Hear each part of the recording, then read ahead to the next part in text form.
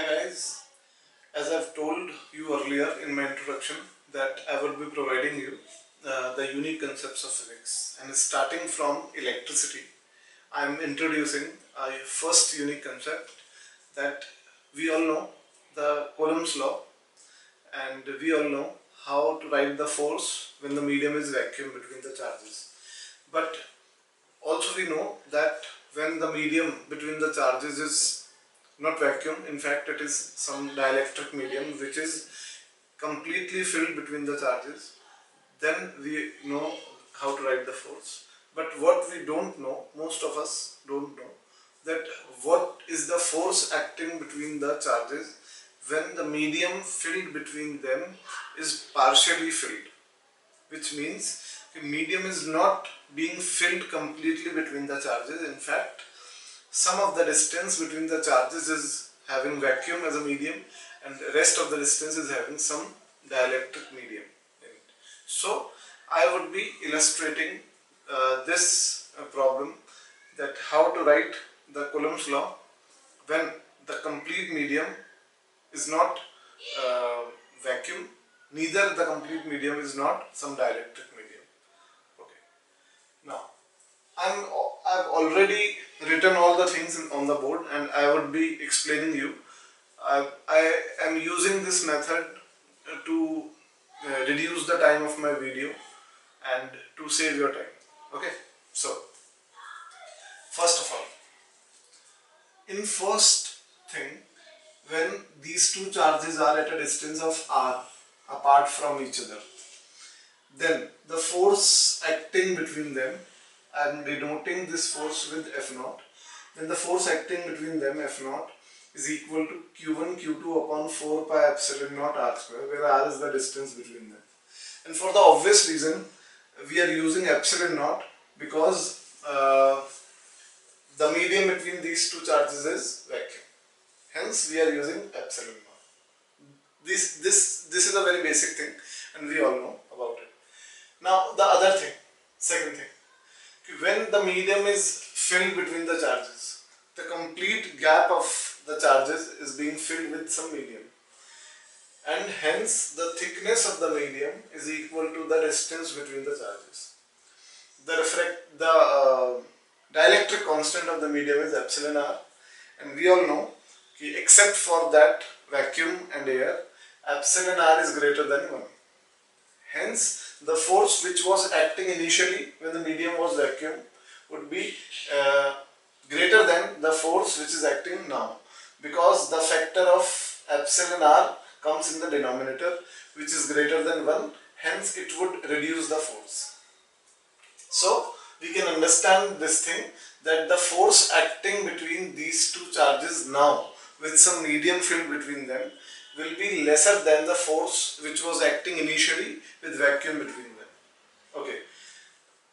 Now, I am introducing a concept of effective distance to make you understand this uh, partially filled dielectric medium. So, please uh, focus on this third topic initially. What is effective distance? Now, we all have noticed that when some medium is filled between the charges, then the force acting between the charges is reduced in magnitude.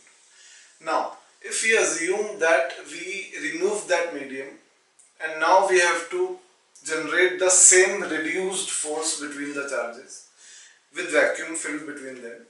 So now we have to pull them apart slightly to reduce that force which would be equal to the force which was acting when some medium was filled between them.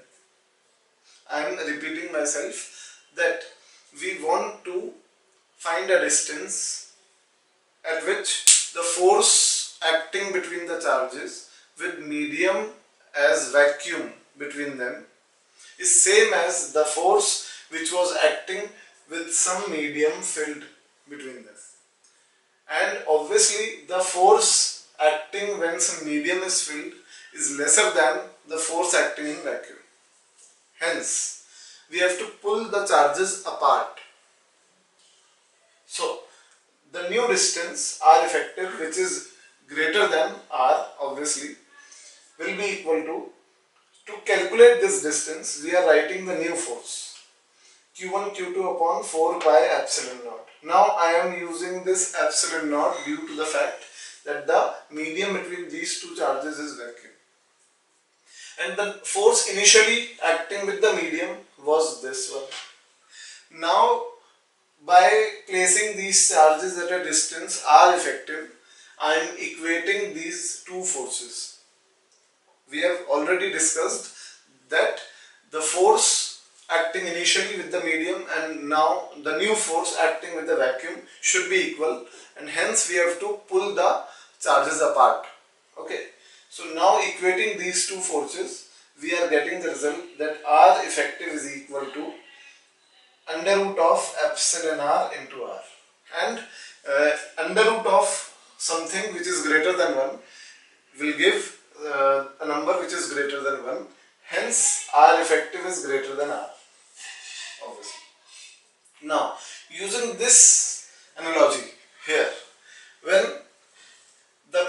filled between the charges is partially filled its thickness is less than the distance between the charges. Now to write the new effective distance which means the force acting between them right now should be equal to that force which would act when these charges have complete vacuum between them. So we have to place them at a distance which is greater than this distance d. So we have to pull them apart with vacuum filled between them. So to write that new distance R effective, I am writing, I am using this analogy. How? I will tell you that initially in this case, a distance of D minus T already has vacuum, this distance. D minus T already has vacuum. So this D minus T would not alter R effective. It would be written as it is in R effective. Okay, now T distance is being occupied by the medium which has uh, relative permittivity epsilon r or we call it dielectric constant epsilon r. So by using this analogy we would write the contribution of this distance in R effective as T into root epsilon r as we have already written R into root of epsilon r. r is the thickness of the medium and epsilon r is the dielectric constant. Here thickness of the medium is T and epsilon r is the dielectric constant. So R effective will be equal to D minus T plus T under root epsilon r. Now force that would be acting with vacuum between them and the distance between the charges as R effective is equal. So we can write that force directly equal to K Q1 Q2 upon R effective square and K is obviously 1 upon 4 pi epsilon naught as when we are writing R effective the medium is vacuum. So R effective is this we can write this expression.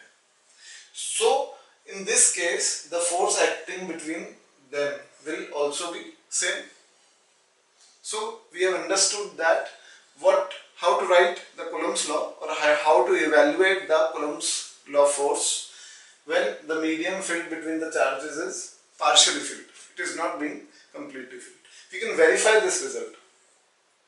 We can see that if this medium is vacuum then epsilon r is 1 and under root of 1 will be 1 and this would yield only d T and T will be cancelled out and force will be Q1 Q2 by 4 pi epsilon naught T square.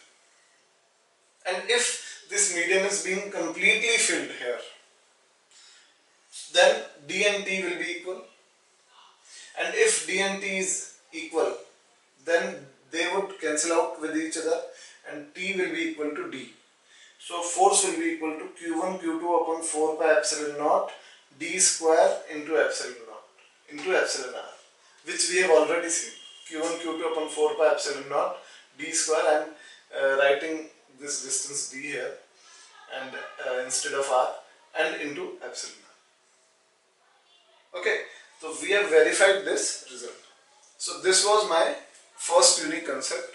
Hope you have enjoyed and you have uh, liked the concept. So please subscribe my channel and uh, I would be providing lots of interesting and important stuff in the future. Thank you.